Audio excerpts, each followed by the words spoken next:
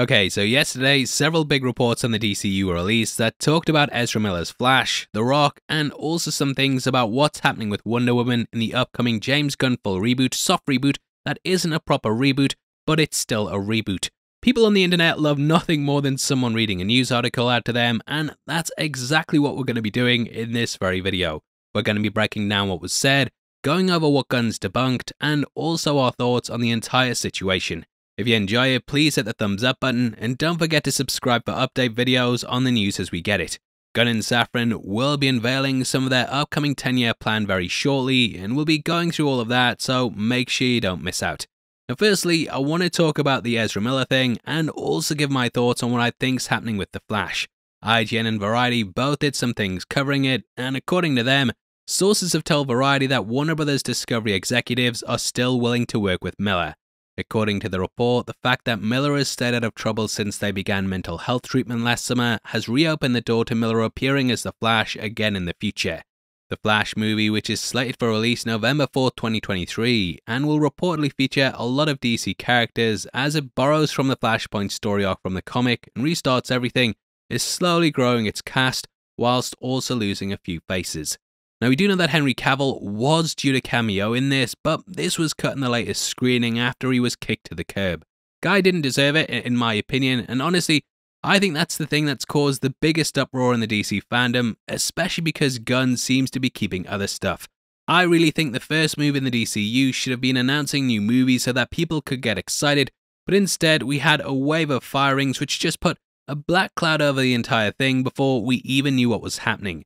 There's also the fact that Miller's been a very, very controversial figure, and to see them potentially getting to keep their role whilst we lose Cavill is no doubt going to annoy some people because, yeah, I, I, I'm fully on board the keep Cavill team. Now, the article then goes on to talk about the crimes that Miller's been accused of and the fact that they were charged with felony burglary out in Vermont. Miller has denied these charges, and the hearing for it will be happening on the 13th of January. IGN then go over all the stuff that Warner Brothers have been doing behind the scenes, and they say, the past summer's legal issues led to multiple reports, including Warner Bros. was planning to part ways with Miller for future DC films. The company was also apparently planning multiple scenarios regarding the upcoming Flash movie, including scrapping it entirely. Then in August, Miller apologized for their recent behavior, saying they were struggling from complex mental health issues. The apology tour continued as Miller reportedly met with WB Discovery executives to save the Flash movie. In that meeting, Miller reportedly reaffirmed their commitment to the movie, calling the Flash one of their favourite characters to play. Miller reportedly returned to set for the Flash reshoots in October, which was a sign that WB was going ahead with the film. We also know there's already a script written for Flash 2, which was reportedly put together just in case the Flash does well. Of course, the entire future plan for DC is still up in the air, thanks to the recent creative takeover by James Gunn and Peter Safran. Wonder Woman 3 has already apparently been scrapped, along with Cavill and Johnson's departures. Cavill and Gal Gadot reportedly shot cameos for the Flash movie that have been cut as part of Gunn and Safran's plans. Now, with all this, you have to bear in mind that the decision over whether to keep Miller or not boils down to Gunn and Safran. Man of Steel 2 had a script in the works, and that was scrapped, so The Flash 2 having one doesn't mean it's greenlit. Now, personally, I think whatever's happening with Ezra Miller and The Flash is going to remain a closely guarded secret until after the movie is out. I really doubt Warner Brothers is going to announce anything until after the movie's released and they can see what the general feeling around it is. Makes absolutely no sense to talk about recasts until they know how it's performed, and saying Ezra is out could ruin the promotion of the film. Warner Brothers have already booked a Super Bowl slot for the trailer, and they are clearly banking on this movie being big. It'll see both Michael Keaton and Ben Affleck playing Batman, and they clearly saw that No Way Home money, which is why they're risking a lot on it. There was a comment made recently that said The Flash was supposed to be the best DC movie since The Dark Knight, and it joins the pantheon of films that have also been called that. Every fucking DC film is that. Shazam 2 is going to be the best DC film since the last DC film that was the best DC film since The Dark Knight. I could actually reply to someone asking about this, and he said, I don't know what's out there about Ezra, but our slate is 8 to 10 years, but we will only be announcing some of it this month. I call BS on this because the guy really checks out rumors on his films and he's debunked so much that I think there's no way he wouldn't have seen the stuff about Ezra Miller. That's pretty much been a constant news cycle for the past year or whatever. I think he's done this because, again, Warner Brothers haven't made a decision, so they don't want to put anything out about it yet. Now, I've always said that if DC reboot, then they need to do a full reboot because the backlash over actors they've cut will end up being too much. You can't keep some, especially those as controversial as Ezra Miller, and get rid of fan favourites without it causing issues.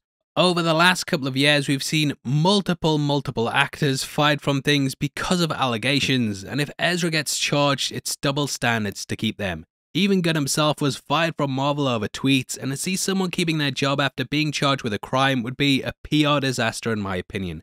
Zachary Levi also released a statement about the rumours, and he said, I have no idea what's ultimately going to happen to me. I think I'm in a pretty good position. I think we made a great movie. I think it's going to do well, reasonably well. I hope so. But again, regardless of that, if they decide at some point that, hey, this is the way we got to go, I mean, then, you know, them's the breaks. That's how it goes. And I hope that I, I hope that people enjoyed at whatever point I finished playing the role of Shazam, I hope people enjoyed my tenure playing the role and that they come with me to whatever else I get to go and do. That's it. Okay. So I don't want to, it's, it's hard for me to see all these random comments and, and, and like basically lies and things that people are throwing around online and not want to respond because I hate lies. I hate deceit. I hate injustice so much. Um, and so I want to set records straight. By the way, so does James. He's been doing this for a long time. That's why he's so active on Twitter because he really wants people to know what's up truly and wanting to set records straight. And so it's, you know, that, that's why you'll see act, action from me or him or other people coming to defense. It's not because we want to get tied up in some random argument with an internet troll. It's because we're trying to help cut through all of the this random, you know, deceitful banter that just keeps going around and around because a lot of people who are very good, kind people who really like Shazam or these other things are getting worried like, oh, is this all falling apart? Is this all going away? Everyone just take a breath. I know we've seen some characters, some actors that are taking an exit, and I know that's difficult. That's difficult for even me. You know what I mean? I was hoping I got to work with a lot of these folks, but it's just not the way it's going to go down right now. And I, I think you all need to, whoever out there is still like all drummed up and pissed off, like just trust that James is so uh, look if you haven't watched what he did with guardians which was a total niche property that he actually brought really awesome life to and his reboot of suicide squad that was better than the first one. He really made something incredible there. He understands comic books guys. He understands world building. He understands how to do right by the canon and also by the by the characters and also by the audience and Peter's there to be an, he's an incredible diplomat and business person. I've worked with him now for years. Just breathe. It's uh, it's gonna be okay. It's gonna be better than okay. So lots of things to take from that, but I, I think the main thing is that Zach doesn't know, like at all. And again, I think it's all gonna depend on how his second movie does. Aquaman 2 is also coming out this year, and I think they've not released a statement on that for the exact same reason. Jason Momoa has clearly been working on something with DC that a lot of people suspect is Lobo, but it makes no sense to release news of them being out before their movies come out. Anyway, that kinda takes us into the Variety article, which starts off by saying, As 2023 kicks off, DC bosses Gunn and Safran continue to sift through the rubble and will soon reveal their three year interconnected vision for the cinematic universe, which won't include Cavill's Superman or Wonder Woman at all. A pretty big sentence to start with, and firstly, I want to go over what this means. Now, Gunn and Safran have both been going on about their 8 to 10 year plan that all depends on the success of their universe in the initial stages. They've actually uh, only signed a contract for, for what I think is the next four years, and depending on how well that does, they can keep going or we'll get another reboot of the reboot. Yay! Now the, now the second part of this says that the slate won't contain Wonder Woman at all. Gunn has since come out and debunked this, with him saying on Twitter that it's not true. Now, people at Variety mentioned Cavill, but they didn't mention Gadot, so whether that means she's back or not, we just don't know. She's one of the only actors from the original lineup that hasn't released a statement, and we still don't know whether she's in or whether she's Gal Gadot. However, Gunn's statement makes it seem like she's potentially not out, but who knows? We might get that Jennifer Holland Wonder Woman movie coming out before we know it. Now, from here it says, but things could have gone in an alternate direction. Behind the scenes, a different group made a play for control of DC. Not long after the Warner Brothers Discovery merger closed in April, Dwayne Johnson directly pitched CEO David Zaslav on a multi-layer plan for Black Adam and a Cavill-led Superman. The two properties would interweave, setting up a Superman vs. Black Adam showdown, sources say. Black Adam producers Hiram Garcia, who's Johnson's former brother in law, and Beau Flynn were also part of the Brain Trust looking to take DC down a new path. Other sources confirmed the meeting but downplayed any discussion of Black Adam's future. Although the move took place amid a power vacuum created as former DC head Walter Hamada and Warner Brothers film chief Toby Emmerich prepared to exit it, it ruffled feathers internally, sources add. Dwayne went around everyone, which didn't sit well, says one. Now we know that it was The Rock that got the Cavill cameo, and Hamada had other plans. He wanted Cavill to cameo in films, and then this would eventually lead to a big return with him in Justice League 2. The studio were building towards that, but we now know it's no longer happening because things have gone in favour of Gunn's new plan. The bold strategy, Cotton, and whether this works or not, we don't really know. We've already covered The Rock's statement, and though he said there may be a future with Black Adam, it was very much a we'll keep your CV on file and let you know if any other jobs pop up thing. Anyway, the article then talks about the Cavill cameo, even though Toby Emmerich was looking to recast him since 2018. It then breaks down what could have really shifted focus for Warner Brothers, with the performance of Black Adam potentially being a reason that things were shut down. It says, but Black Adam, which bowed October 21st, fizzled with a $391 million worldwide haul against a 195 budget, plus $40 million in reshoots. This scuttled any plans for more outings with the lightning bolt wielding anti hero and officially ending the Cavill Superman era.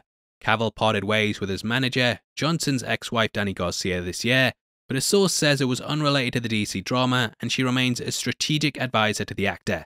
Meanwhile, the Johnson Warner's relationship already was wearing thin after Johnson pushed for a producing credit on the animated film DC League of Super Pets. This opened in July, but he did little to promote it. The actor also insisted on a tequila bar at the New York premiere of Black Adam, featuring his Teremana brand despite the film being PG 13. Now, that last sentence killed me a bit. And hey, which 13 year old wasn't out here drinking tequila? Get the audience as drunk as possible and they might enjoy the movie. I'm just kidding. I, I, I thought Black Adam was fine. It was fine. It, it didn't do anything new, but, but it was fine. Now, the article then says his demands increased and the returns just weren't there, notes another insider. Still, box office analyst Paul Darabiadin says Johnson found himself in a catch 22 with Black Adam. You can't have a more modest budget when this level of talent is involved. Budgets are commensurate with talent involved. Something with a lower budget like Shazam is dubbed a hit because hits are based more on profitability. Shazam earned 366 million worldwide in 2019 off a 100 million dollar budget. Degarabadinian Degarbadine notes that Black Adam still managed to crack the box office top 10 for 2022. So yeah, that that's the main point of the article, and I really think the best thing for Gunn to do is do a full reset, and that will at least quell some of the fandom that are gonna be mad that their favourites weren't picked. He will be gone playing favourites himself if he chooses some things to keep and not others, and it could end up being an even bigger mess if some things are wiped and some things aren't. They're doing this because they see some parts of the DCEU as a failure, but every project is connected in some ways. For example, Peacemaker is connected to Suicide Squad, and Suicide Squad is Harley, Rick Flag, Captain Boomerang, and Waller, who all appeared in the previous Suicide Squad film. That had Superman's death brought up, and it also featured Affleck, so it's connected to Batman v Superman, which is connected to Man of Steel. So I just see it as all being connected, even if they wipe stuff. It's going to make this messy universe even more of a mess, in my opinion. But again, we don't fully know what's happening with it, and those are just the rumours that are coming out. Hopefully, hopefully, the next video I do will be a big announcement on the slate, as these constant drama posts do kind of bog down the universe, I think, and I'd rather be delivering some good news instead of all this constant crap. Anyway, that's the end of the video, and obviously I'd love to hear your thoughts.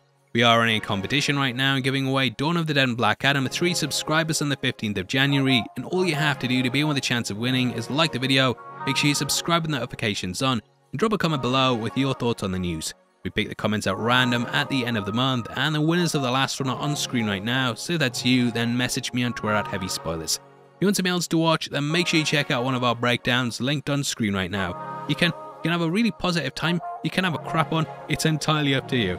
See you over there, and yeah, enjoy the rest of your week and also your weekend. You take care of yourself, peace.